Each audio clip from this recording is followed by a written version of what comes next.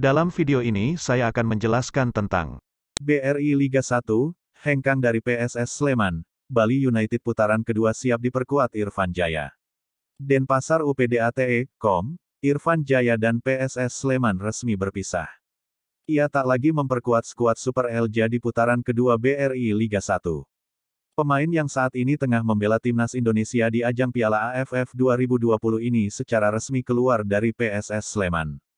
Kabar hengkangnya Irfan Jaya diinformasikan secara langsung melalui akun Instagram @selman pada hari ini Jumat tanggal 31 Desember tahun 2021.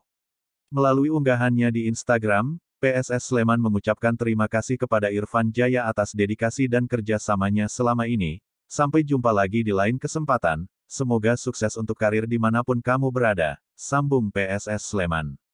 Rumor soal hengkangnya Irfan Jaya dari skuad Super Elja memang telah santer beredar sebelumnya, namun, kabarnya sempat hilang lantaran ia membela timnas Indonesia di ajang Piala AFF 2020.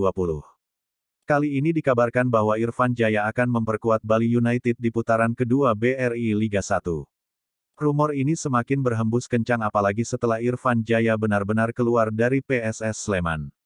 Namun, Secara resmi masuknya Irfan Jaya ke Bali United belum diumumkan.